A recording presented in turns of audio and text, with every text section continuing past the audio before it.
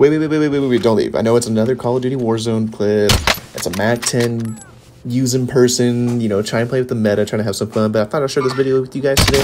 Um, tell me what you guys think. I'm bored at work, just trying to like make a couple TikToks before I go on vacation. And uh, yeah, so we're battling this guy's real, real, real last zone kind of situation. Um, rings closing in, teammates are trying to get this guy. There's a guy on the roof, there's a guy on the stairs. I'm pretty sure there's a guy that's jumping off a cliff somewhere.